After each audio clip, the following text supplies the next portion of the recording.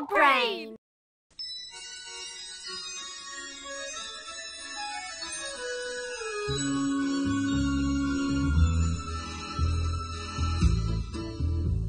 If you believe you must be big in order to be tough, then you should get to know me. I'll teach you other stuff.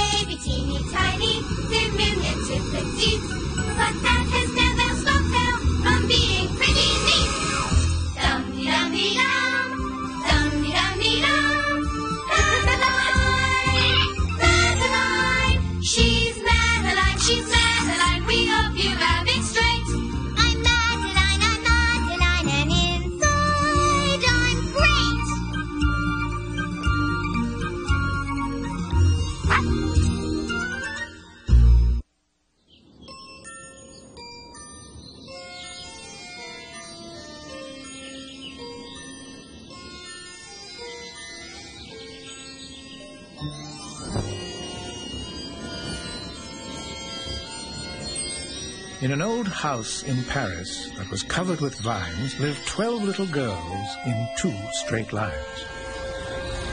The smallest one was Madeline. What could that be? Oh, my oh, goodness! Oh my goodness! An elephant loose from the zoo? An earthquake? Aha! It's coming from the embassy. It was something grand, no doubt, for a giant truck was pulling out. Someone very important must be visiting the Spanish ambassador. A workman hung bright lights all over, while the gardener cut the clover. Voila, look! The tent! The biggest one I've ever seen! Pepito, what is happening? Is the King of Spain coming to visit? Maybe both the king and queen.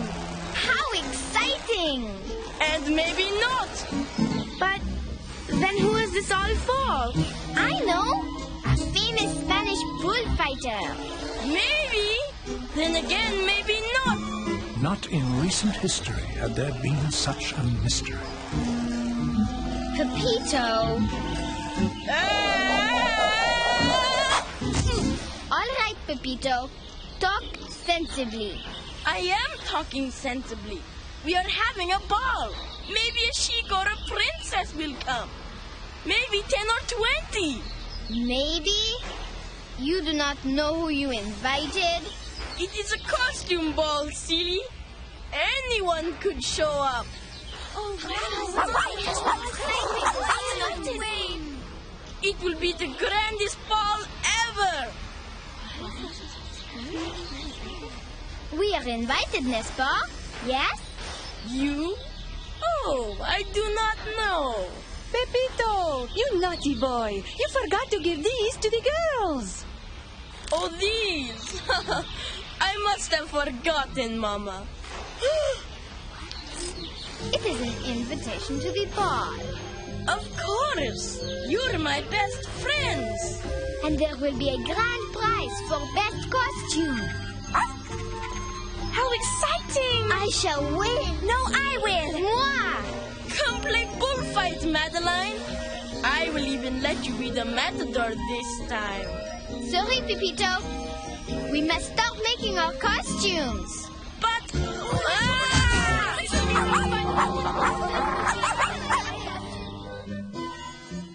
The girls worked on their costumes with determination. I am Fatima, Gypsy Princess! Yippee! giggling at every silly new creation.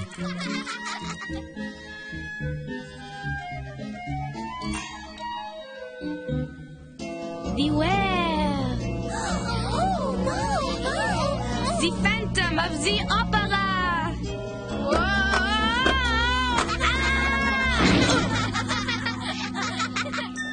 With the grand prize as their incentive, the little girls were most inventive.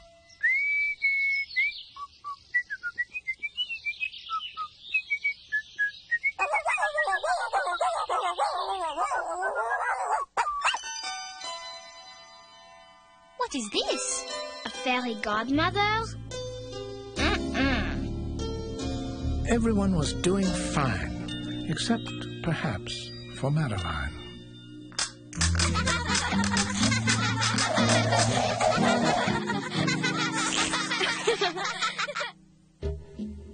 No matter how hard Madeline tried,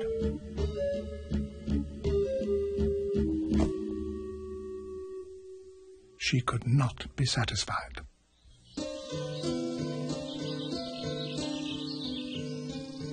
Then left alone to do some hiking,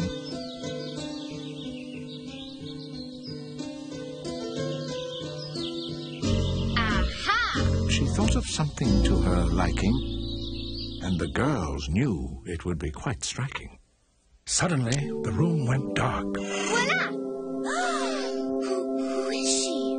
I am the heroine of all France. Joan of Arc. The room was quiet. No one stirred. Not one little girl could say a word. What is wrong?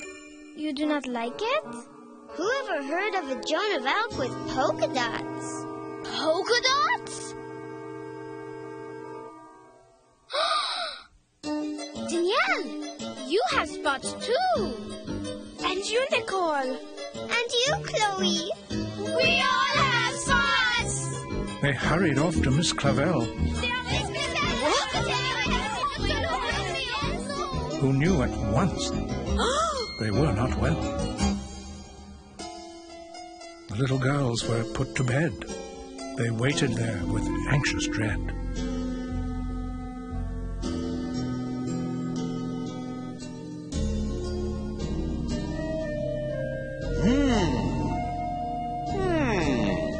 Say ah. Ah. Aha! Please, Dr. Cohn, what is it? These little girls have the chicken pox. Chicken pox? Chicken pox? What does this mean? It means you will have spots and itching for a while, and you must try not to scratch. But after that, you will be just fine. But things were worse than they had dreamed. You girls must now be quarantined. What is quarantined? You must stay away from other people so they do not catch it too. We must stay away from Miss Clavel? Not me, little girls. I had the chicken pox as a child, and I cannot catch it again. Does that mean no morning walks? No morning walks. No visits to the zoo? No zoo.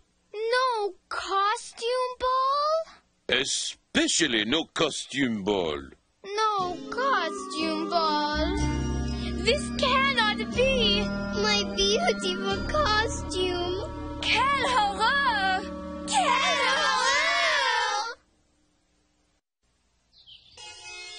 The next morning, when they checked their clocks, they knew there would be no more walks. Just the itchy, spotty chicken pox. Why did we have to get sick now? Is there nothing to make it go away? I am afraid not, mes enfants. But before you know it, you will be better. And remember, mes petites, you must not scratch those spots. Good night, little girls. Sleep well. Good night, Miss Clavel.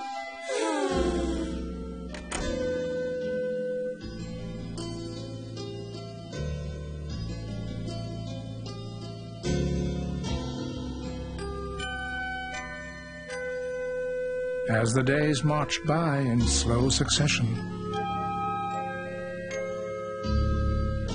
more spots appeared in quick progression, leaving the girls in a deep depression. I have more spots than freckles. Even my spots have spots.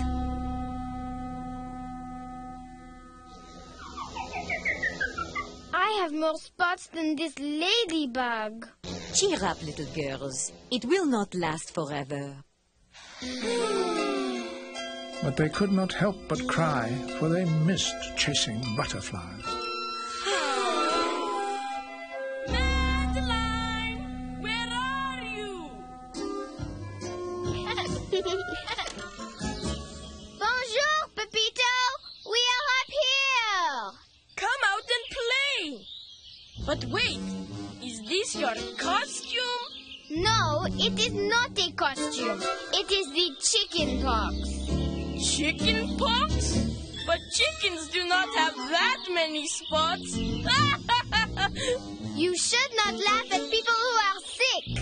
Wait, Madeline, I am sorry. I will cheer you up. You will see.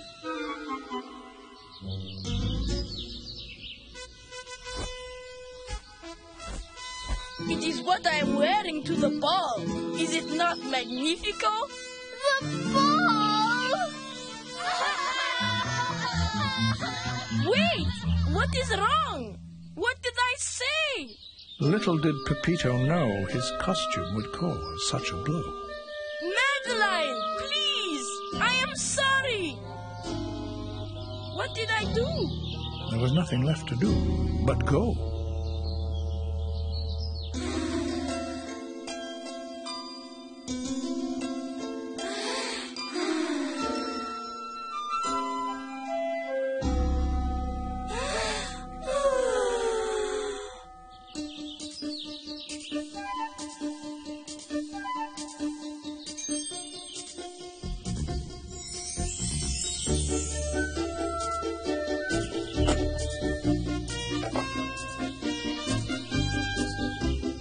As the big day neared, the girls felt poor hearing the excitement from next door.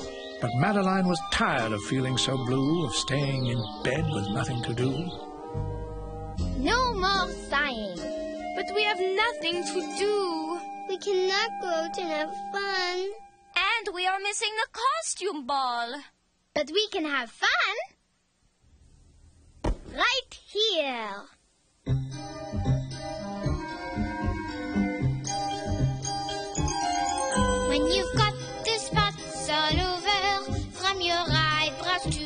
Socks, it's that itchy, dreaded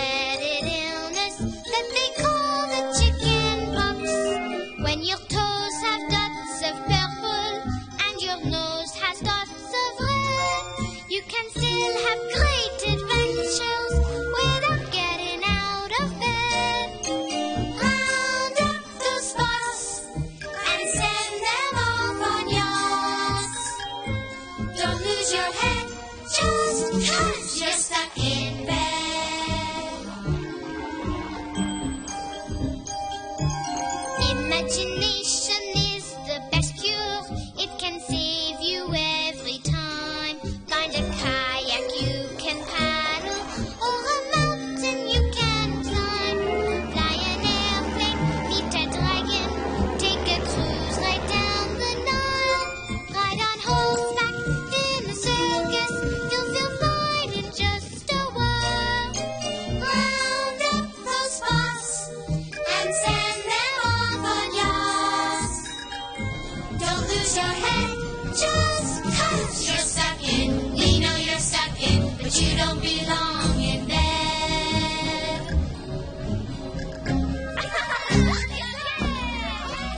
They soon forgot they were feeling blue. My little girls are pulling through. Then Madeline had more ideas for fun, for girls who cannot play or run. Now we play connect the dots. Uh, uh, spots. You first, Nicole.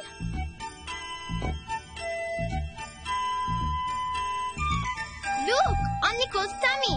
It is Pepito's bad hat. And I have a clown. And I have a dog. It is Genevieve. Now you, Madeline. What is on your tummy? Wow, look at that. Oh, I have so many spots. It took extra long to connect the dots. Hmm, they checked her stomach with greatest care, but no one could figure out what was there. A goat? Uh-uh. A pig? No, no. A bat? No. Voila! Of course, I know what it is. Oh. It is a giraffe. With lots of spots. Miss Clavel heard their giggles. then was shocked when she saw their squiggles. Oh my, I think it is time for a bath.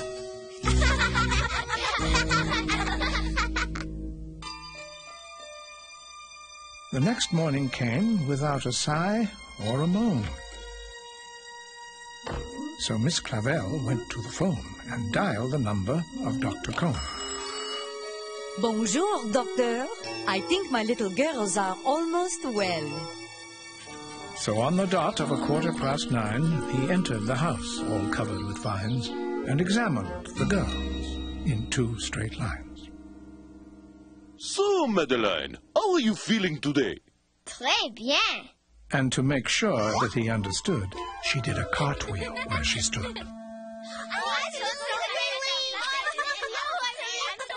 Hmm, I see. Ah, yes. Aha! What could be happening? What could this mean? The end of the little girls' quarantine. I am very proud of you, mes enfants. Do we get to go to the ball? Oh, please, can we go to the ball? It feels so much better. yes. Shh, little girls, let Dr. Cohn finish. Hmm.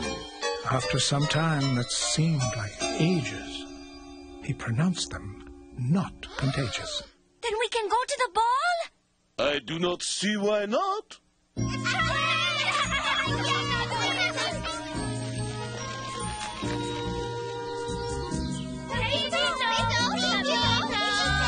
Pepito, we are no longer sick. We can come to the ball. You're coming to the ball with all those spots?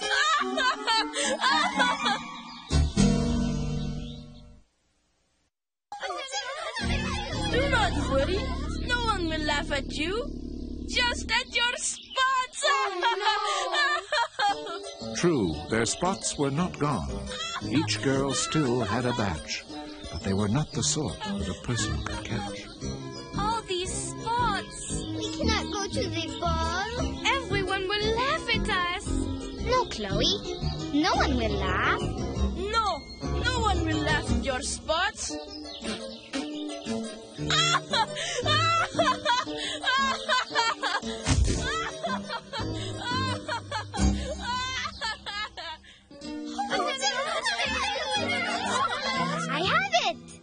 Must get busy. We have much to do. What do you mean?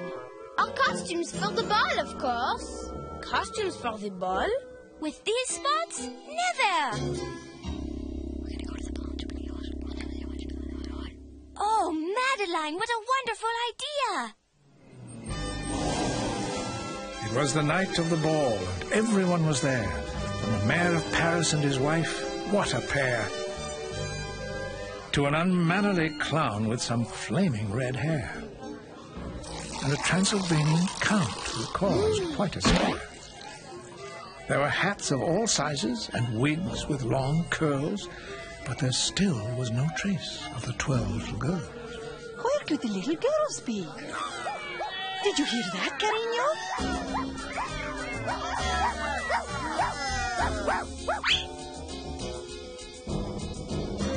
Surely it is nothing. I will see for myself.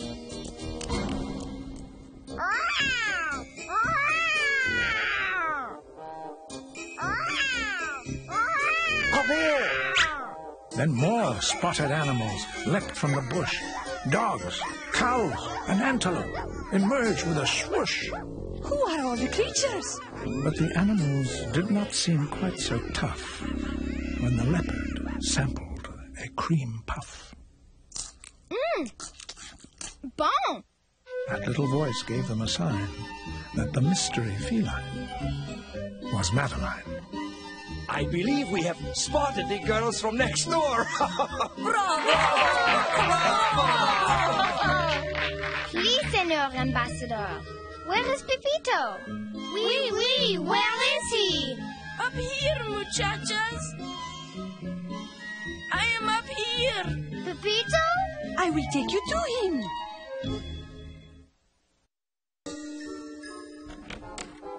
The girls crowded around with care and concern. What was ailing Pepito they needed to learn. Pepito, what are you doing in bed?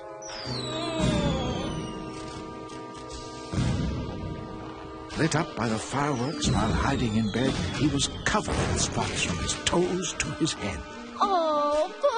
Pepito. You have caught the chicken pox. And now you're going to tease me like I teased you. No, Pepito. We have come to be with our friend. Go on, you do not want to miss the fireworks. And anyway, you might catch it again. But we cannot catch it again. And we can see the fireworks right here with you. Really? You want to?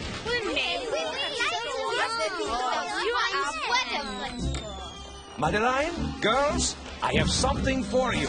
With a happy smile and cheery eyes, the ambassador gave them the first prize. Felicitaciones, niñas! You have won first prize! You have the best costumes at the ball!